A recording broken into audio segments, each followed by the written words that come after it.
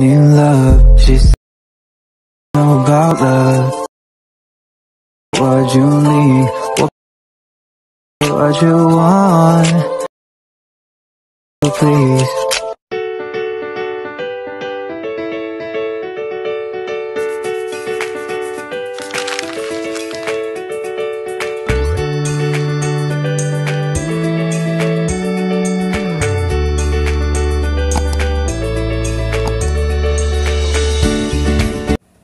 Oke guys, kalau di sini kalian udah buka aplikasi CapCut, kalian bisa klik pada bagian proyek baru. Setelah itu kalian pilih foto, klik aja, lalu klik tambah.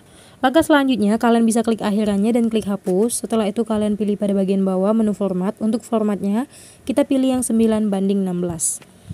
Kalau seandainya foto kalian nggak sama kayak ukuran format, bisa kalian samain aja dengan cara kalian potong ataupun kalian zoom.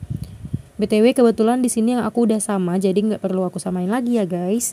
Kalau udah kita ke depan, lalu kita klik kembali. Oke guys, kalau udah langkah selanjutnya kita ke depan, kita klik tambahkan audio, kita klik di ekstrak, kita klik sound lagu yang udah disiapin, pilih impor suara saja. Kalau kalian mau pakai sound lagu yang sama, nanti untuk link download bakalan aku taruh di deskripsi. Kalau kalian mau, mau pakai sound yang berbeda juga bisa ya guys.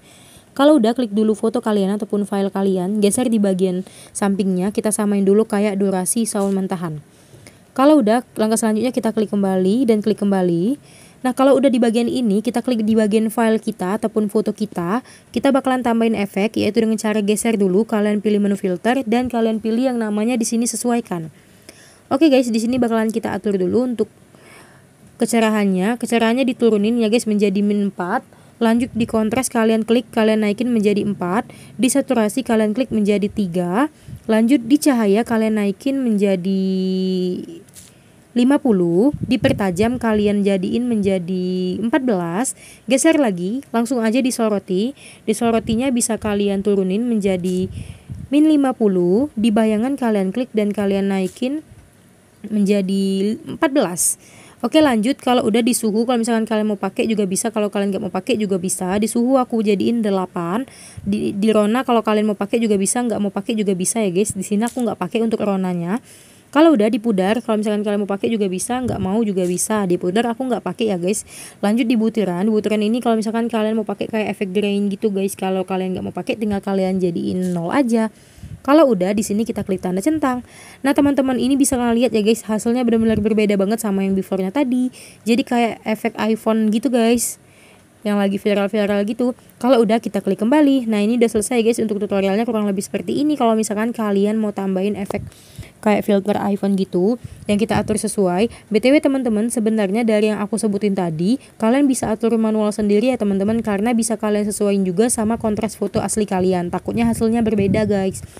Oke ini udah selesai tutorialnya bisa langsung kita simpan.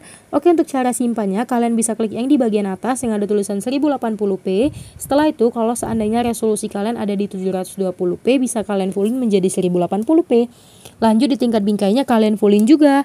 Nah di sini dia ada tulisan lagi mengekspor nantinya.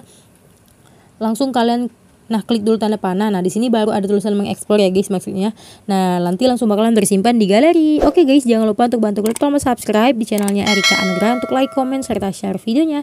Thanks for watching, guys. See you next video. Bye-bye.